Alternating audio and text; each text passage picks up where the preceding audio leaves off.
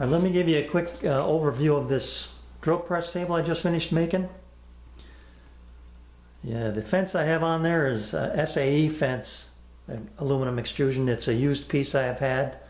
So it's inch and a half by three, and it's a 56 inches long. And you can see that it can be located just about anywhere you want.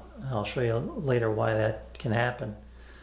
Uh, the table itself is 25 deep by 34 and a half inches wide.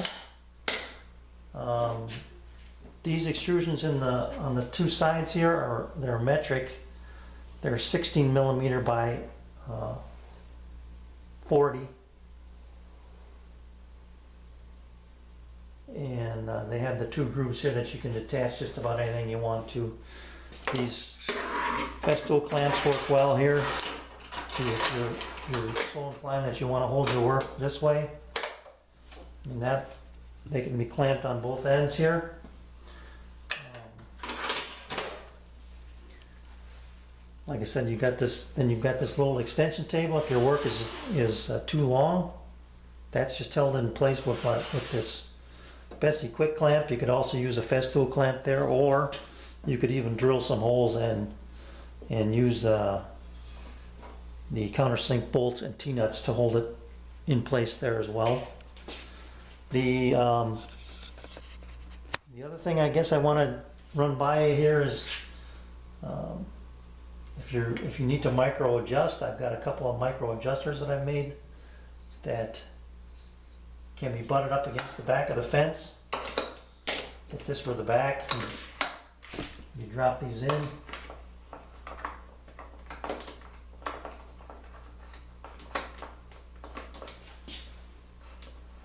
Loosen that one up a little bit. There. And then you can micro adjust your fence, push it forward or back, whichever way you want to go. I got uh, two of those made, one for each side. Um, like I mentioned before, you got your stops that can be moved to give you a repeatable position. Um, replaceable inserts. So if this one gets chewed up too bad, drop in another one. And then these, you can just keep making these. These are five by five. Nice flush fit there. Um, it's easy on, easy off. I've got uh, I've got a couple knobs underneath here with some steel washers that give me a wedge fit to hold my table. So if I need to drill metal, I can just pull this whole thing off, set it to the side and drill metal and then be right back in business after I clean everything up, slide this back into position. So uh, these uh, extrusions, I'll show you this part here.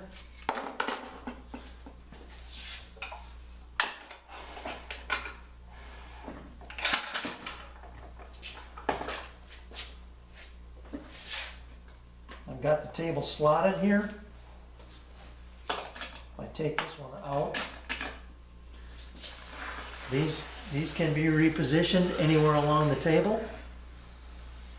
So you can, you can uh, give yourself extra support out here if you're working with wide, uh, wide pieces. Or slide them back out of the way.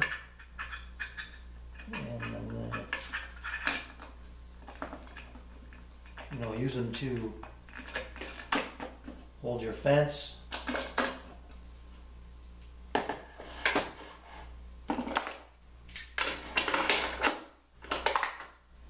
There you go. You're just you're back in business. Um, I really like it. I'm still discovering new ways to use it. Let me give you a quick tour of the of the undercarriage here to show you what I was talking about. So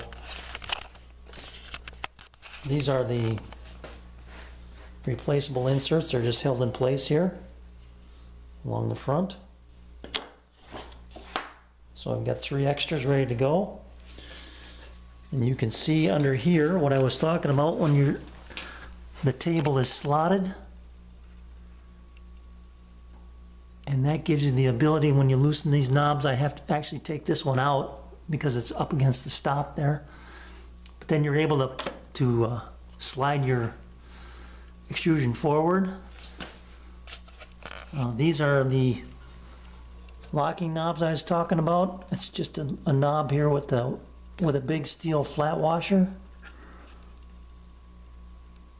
And it, I've got it a, a bit cockeyed, so this is a little shallow. This is not as thick as my top, so it gives me that wedge effect.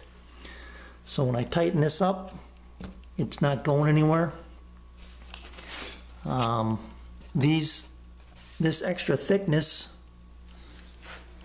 here gives me the ability to make the extrusion nice and flush to the top and uh, also acts as a a guide or a recess is formed to uh, butt, butt it up against my cast iron top. So lots of flexibility with this thing. And uh, like I said, there's there's many things that I've I haven't even figured out yet. I've drilled these through holes here so that you can see the T-nut from the bottom when you're when you're threading this when you're threading this knob. So you can make sure you're lined up there.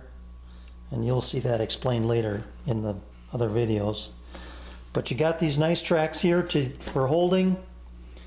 Your your fence can be as long as you're as you want because you're you're gripping it in um, with the uh, quick clamp and uh, you can reposition it anywhere anywhere you want east and west or north and south.